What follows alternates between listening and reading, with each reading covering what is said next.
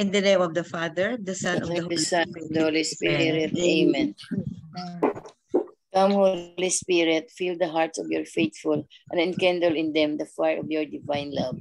Send forth your Spirit, and they shall be created, and you shall renew the face of the earth. O God, who by the light of the Holy Spirit did instruct the hearts of the faithful, grant us by the same Holy Spirit to release what is right and just, and always to rejoice in his consolation through Christ our Lord. Amen. Amen. Amen. A reading from the Holy Gospel according to St. Mark. Glory to you, O Lord. O Lord. Lord, After making the crossing to the other side of the sea, Jesus and his disciples came to land at Gennesaret and tied up there. As they were leaving the boat, people immediately recognized him. They scurried about the surrounding country and began to bring in the sick on mats to wherever they heard he was. Whatever villages or towns or countryside he entered, they laid the sick in the marketplaces and begged him that they might touch only the tassel on his cloak. And as many as touched it were healed. The Gospel of Praise to you, O you, Lord Jesus Christ. The three pointers, please. The three pointers for today's gospel. Number one, the poor, the sick, the needy, and the homeless had a special place in Jesus' compassionate heart. As followers of Jesus, we are also called to be compassionate to all these people. Number two, how ought my attitude towards others change so that I can be more Christ-like to the needy, homeless, and the aged? Number three, ask Jesus to inspire you to live more fully for his people who are in need of healing and to know the word of God. Amen. Amen. Thank you very much, Tita Lynn. Welcome. So today's gospel is about healing, no? It's about healing. Um, let me share to you this uh, reflection no, from Marino das Marinas. No? Uh, okay. How, why do we pray to Jesus? That's the start of the reflection. Why do we pray to Jesus? Perhaps we pray because we want something from the Lord and we want to offer all our cares and worries to Him. In our gospel, people went to Him upon learning that Jesus was within their environment. They brought along their sick and probably and possibly all of the problems that they've been keeping in their hearts. They wanted healing for their body and soul, and Jesus did not disappoint them. Whenever we go to Jesus and we ask him for something, let us always expect that he will grant us that we what we want from him. Physical healing, emotional healing, and any other healings that that we want him to grant us. If we believe that Jesus has already healed us, then we are healed already. We have nothing to worry anymore. It's all in our state of mind. But how about those who pray to Jesus for physical healing but are not healed? Yes, there are countless instances that we pray yet we don't receive physical healing. Physical healing is only a, mi- a minute or a tiny part of the healing process that we that we receive from Jesus. What we have to all to always recognize and be thankful for is the emotional and spiritual healing that he generously gives us without fail whenever we go to him.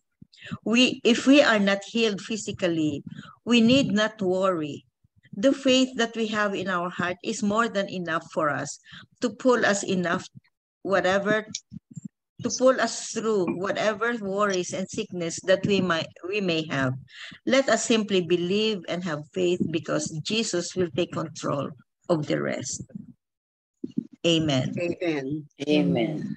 Amen.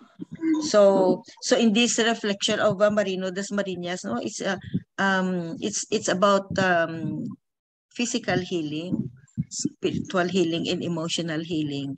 We ask so many times, no, Father Danny, and we discussed many times no, in the past, no, na, now, no matter how much we pray, especially for physical healing, no, maski na sa emotional healing, no matter how much how much we prayed that we we thought we we already prayed fervently and with all the faith that we have no and yet the prayers are not granted but ito sa um, Marino Dasmarinas emphasized that even if we don't see or we or we or the physical healing is not achieved, but the spiritual healing is already achieved. Because when we pray, when we pray for physical healing, we show the Lord our faith, our faith, but we have our own destiny it maybe it, uh, it, we are we are not destined to be healed. And then some uh, just like um this is just a good example about Ate Eva no? For years we have been praying.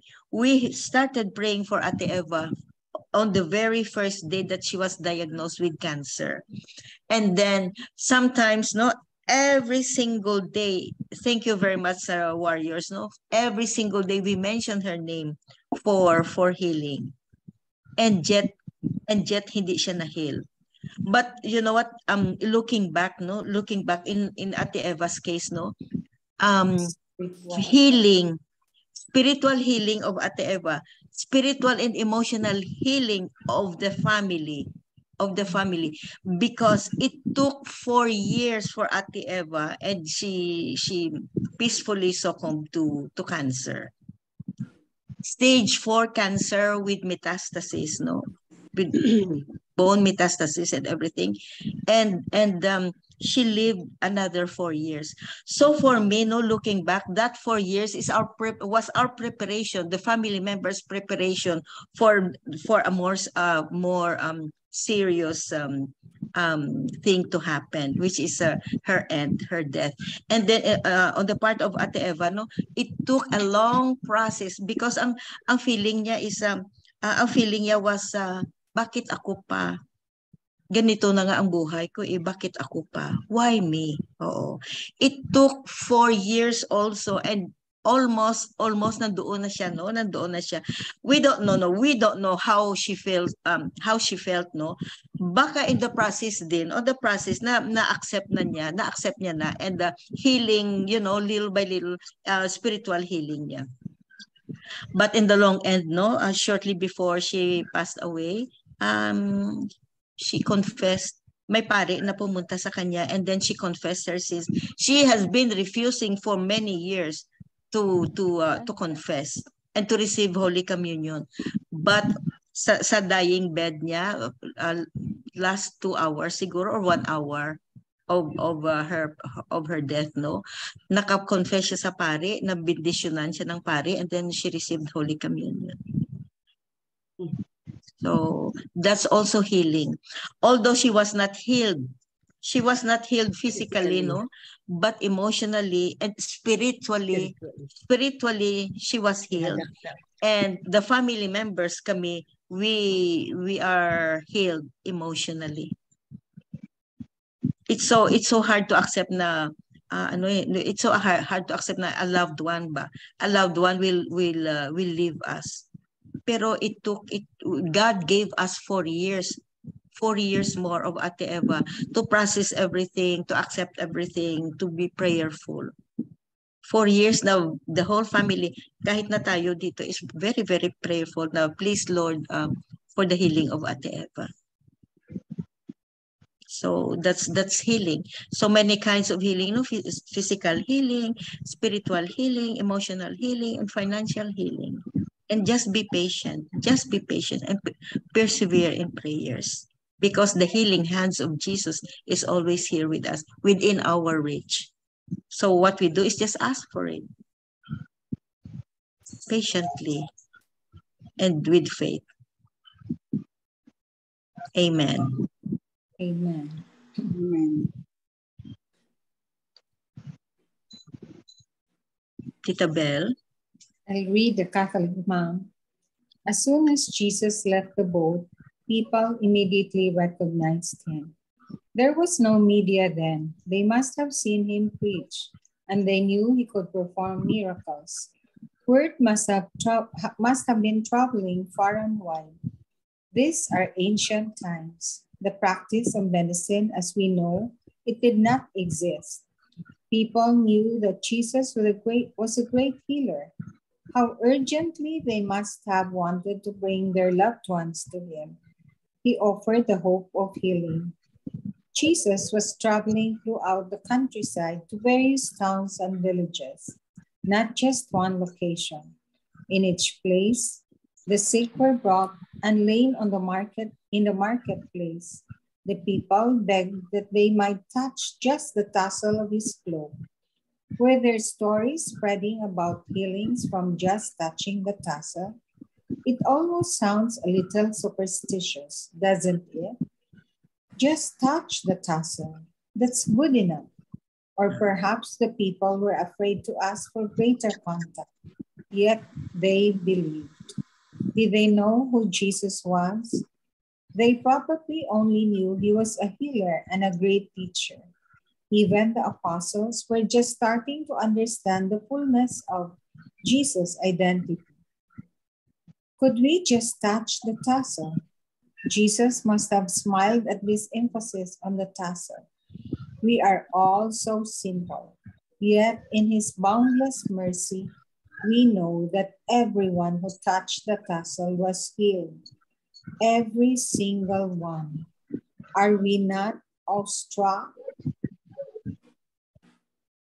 even now, 2,000 years later, Jesus still heals, sometimes using medicine, sometimes through sacramental grace, and sometimes even today, Jesus performs miracles.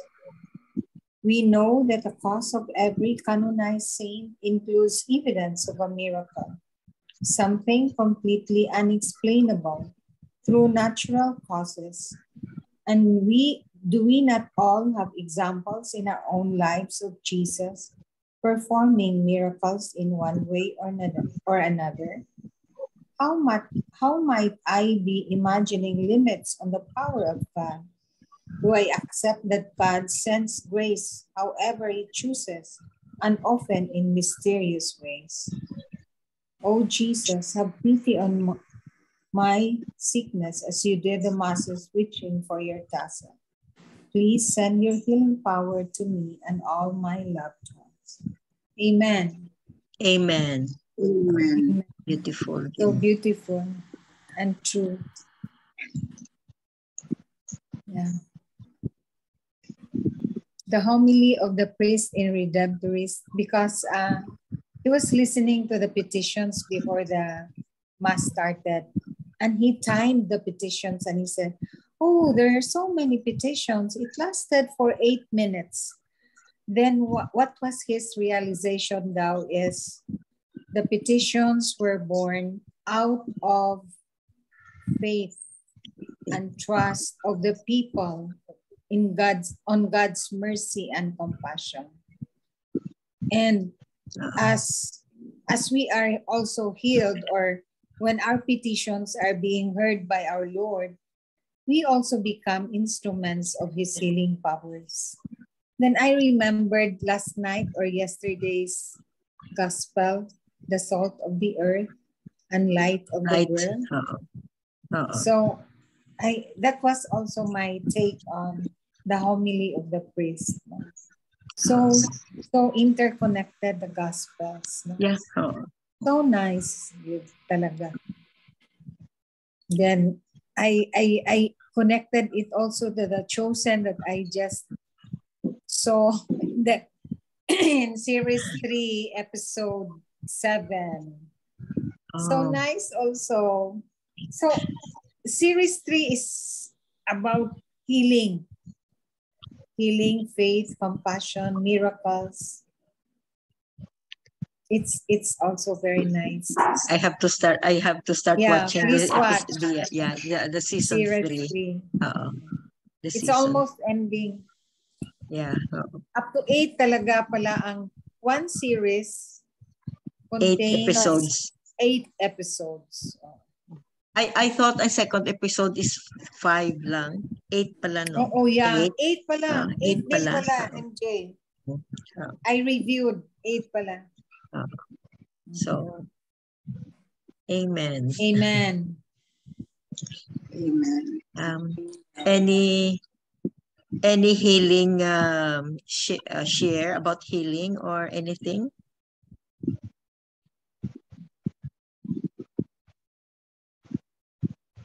We, we don't sometimes we don't uh, uh, recognize or we are not aware no that that sometimes we experience healing every day especially emotional healing. Em- emotional healing. Emotional, mental, Uh, spiritual. and mental uh, spiritual healing. If not physical. Siguro we are not aware na maski na physical siguro. Hindi rin tayo aware. Oo, hindi tayo aware. So what we do is uh, uh, keep on praying for protection and healing whatever whatever shape of form of any intensity of of healing no pero it's so easy it's so easy if we pray it's so easy to achieve any kind of healing talaga as long as you have faith amen Amen. Healing requires total faith. No? yes Even those people lying in the marketplace, I, I think they were not healed right away, no? Because it depends on their faith. It depends Ah. on faith. You must have that 100% faith that you will be healed. And the uh, Eucharist, no? Mass, the Eucharist can heal. Either physically, spiritually, emotionally. But we must not forget no? the trials, pains, and illnesses are part of life. You cannot separate that. They are part of life. Even sa apostles, di ba, Tito Manny? The apostles underwent trials and it's part of Sickness. life. If you are not, God knows. It's part of life. Maybe He wants uh, you to accept that and, uh, and uh, connect that with His suffering. Offer that for the conversion of sinners. Usually, it's for the conversion of sinners. Version of sinners yeah, for the conversion. Kaya, part na ng buhay yun. Yung mga, if you are not healed, God has some other purpose, maybe. Yun ang, we have to accept that. Kasama na sa buhay natin yan. Hindi na mahihiwalay yan. Some are healed, some are not.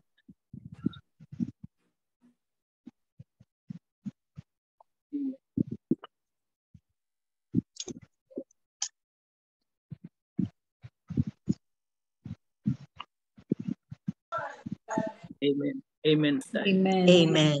Oh, thank you very much, Tito Man. It's it's true, no, it's true. Uh, I remember I asked Father Danny one time about uh, uh, praying for other people. Uh, for example, praying for somebody that that somebody has uh, no faith or doesn't even, you know, uh, um, that doesn't even recognize that you are praying for him, you know, and then and then kung mahil siya, so uh, I think Father Danny was uh, saying like like it depends on on our faith naman.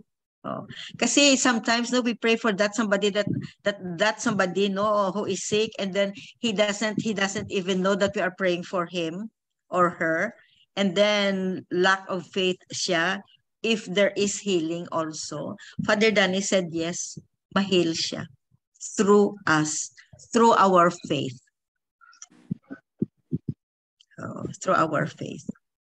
And then when we pray, when we ask, no, when we pray for anything, no, when we pray with with full faith, number one. Number two, um, um, when you pray, give thanksgiving as if it, it you already received the the prayer that that uh, ano that you pray for that it's already granted. So so if if we remember no ang um, Santo Niño prayer after the Santo Niño prayer no may prayer for thanksgiving na, or na as if we already received the the the petitions that we already uh, that we we are praying as if we already received. So in other words uh, give thanks already because because you have faith that your petition will be granted kaya mag-thanksgiving ka na.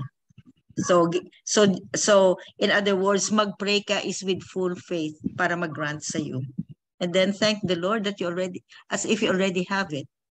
As if it was already is already granted to you. Part yan ng prayer sa ano sa Santo Niño novena natin. Prayer for thanksgiving. So Amen. Amen. I have here a short prayer no about about healing no. Um, so in the name of the Father, of the Son, of the Holy Spirit. My healing Lord, we thank you for the spiritual healing you continually offer us, especially through the sacrament of reconciliation. We thank you for the forgiveness of our, of our sins on account of you suffering on the cross. Fill our hearts with a greater desire to come to you so that to receive the greatest gift we could ever receive, the forgiveness of our sins. Jesus, we trust in you. Amen. Amen. Amen. And for another closing prayer, Tita um, Miga Bilen. Okay. Father, May your name be praised greatly for giving us good health to gather here. May your praise be continually in our mouths. Bless everyone that is here to gather for this meeting. Bless our families. Lord, let your face shine upon us and give peace throughout this day. In Jesus' name, we believe and pray. Amen. Amen. Amen. And all together, please. Glory be to the Father, to the Father, and to the Son, and to the Holy Spirit, as it was in the beginning, is now, and ever, shall be, world without Amen. Amen. In the name of the Father, the the Son. And the Son, and the Spirit. Amen. Amen.